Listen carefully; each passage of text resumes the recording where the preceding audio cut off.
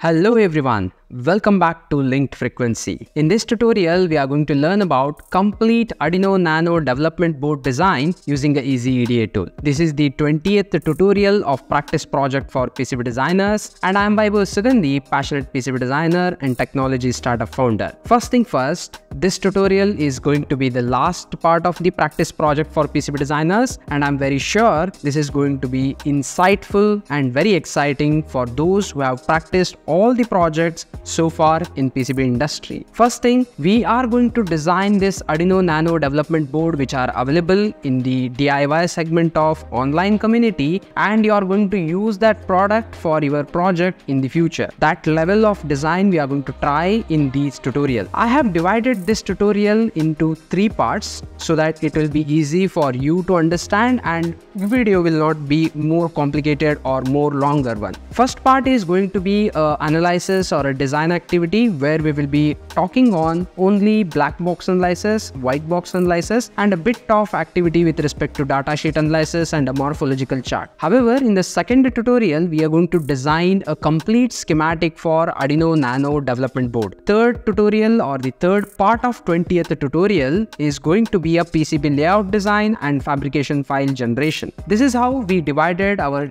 20th episode of practice project for PCB designer into three parts. Let's get started with the first part. Here we have a black box analysis for Arduino Nano development board. First thing is we need to have a power supply input connector where we will be giving a power to the entire board. One source of the power to this entire Arduino Nano development board is a USB cable where there is a programming as well as USB connection where we will get the 5 volt power supply. However, we cannot connect the USB for all the time especially when you want to make a project portable. On that time you can connect a battery or a variable power supply or adapter or any source of power DC power supply to our entire board by means of 2 pin connector here. This is not exactly a extended 2 pin connector it is an integrated part of all the connectors given in the Arduino Nano like this. You can see here left side and right side there are so many connectors within which there is a one pin called V in I think it is somewhere here V in and ground that pin is nothing but a power supply pin. That is where we connect our power input ranging from 9 volt to 12 volt at any point of time. And after that we will be having a voltage regulators. Regulator or regulators is a choice. Why? Because whenever we want to make our entire project compatible with the 3.3 volt as well as 5 volt then we have to design a two stage regulation. First stage is all about converting this input voltage voltage into a 5 volt and then a 5 volt into a 3.3 volt. But most of the low cost and a very cheap Arduino Nano development board, they use the voltage divider network or voltage divider circuit to convert 5 volt DC into a 3.3 volt DC. On that time, a single regulator is sufficient for us. Which one to use, which part number to select? Again, it is a different story. We'll talk about it in a bit. But right now, do remember, voltage regulator or regulators are required in this entire project. Thereafter, we will be having a power indicator LEDs just to indicate the board is turned on or board is powered up. Thereafter, we will be having a output connector where we will be connecting our peripherals to a specific voltage as per the requirement. For example, 5 volt, 3.3 volt or maybe a direct V-in pin connected to the sensor or actuators to the entire board. And this particular voltage rail will be shared with the entire PCB so that the entire microcontroller circuit will be powered up with that. Thereafter, we'll be having a main controlling unit which is the main part of the entire design activity. At this point of time, we know it is Arduino Nano development board but do remember when you are doing a black box analysis, you will be not knowing that. That's why it is so called called black box analysis not because of a color but because of unknown perceptivity. So main controlling unit is going to be a unknown thing to us at this point of time. With that particular main controlling unit we will be having a GPIO connectors where they are open for any kind of a development. So you are just dragging the GPIOs of that controller and making them available for the developer with the connector. That's why we have given a couple of GPIO connectors here which associates with the GPIOs of a main controlling unit. Thereafter, we will be having a LED indicators to indicate a transmittance and a receptance a signal of the UART communication. UART communication is fundamentally based on USB to UART conversion or the serial communication between this main controller and the programming host. For example, uh, your computer, laptop or any device which is programming this microcontroller and whatever communication happening between them will be indicated by two LEDs called RX LED and TX LED. Along with that, we will also give one extra LED just to indicate power status or maybe a signal status or maybe a pulse of this entire microcontroller. It's like a development uh, board and on which we will be having a built-in LED. The, those kind of LEDs are connected together in a one segment and we call them as LED indicators. We will be having a programming connector here which is nothing but a USB to UART converter. Maybe we can use Silicon Labs uh, IC or maybe we can use a FTDI IC. Choice is ours which we will be discussing in the later part of the design. But right now we are going to use the USB to UART converter and that particular converter section is so called programming connector. Thereafter we will be having a reset button. This reset button is very essential as you are using this as a development board. Whenever you use a development board you will be writing a lot of test code to test on the real time. Whenever you are writing a code you have to press a reset to reset the microcontrollers to start executing from the beginning. If you don't have this reset button then it will be very difficult to do a power cycle. What do you mean by power cycle? You have to remove the power connection from the power supply input or maybe from the USB connection and then you have to power it on. Every time removing and connecting a USB cable will be a tedious job and it will degrade the quality of a USB connections. That's why it is always better to have a SMD small scale or small size reset button on the board whenever you are designing a development board. That's why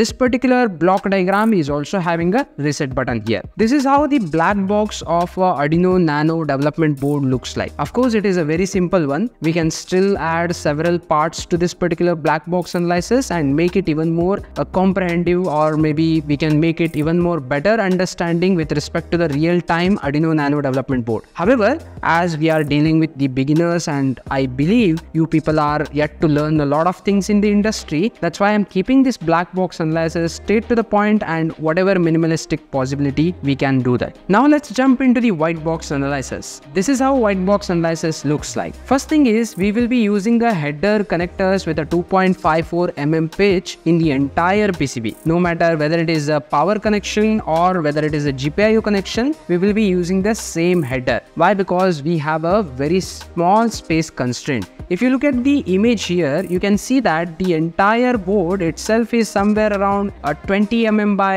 a 50 mm max to max. It is a breadboard compatible and it should be as small as possible and it should be compact with all the working principle. I mean all, all the circuit should work as well as it should be compact. That's why we don't have any possibility to use the connectors with a 5.08 mm pitch. The green color terminals which we use for power supplies and all right. Those kind of a terminal connectors or those kind of a terminal block cannot be used in such small PCB. That's why we are going to use header connector of 2.54 mm. Thereafter, we'll be choosing a LM1117 5.0 SMD regulator IC for conversion of whatever input voltage coming to this entire board into a 5 volt DC. Here again, why I have chosen the LM1117? It's my choice. Based on my morphological chart, based on my requirement, based on the maximum current that I want in this entire PCB, I have selected 1117. But if you do your own morphological chart, if you do your own own datasheet analysis, then you may come up with the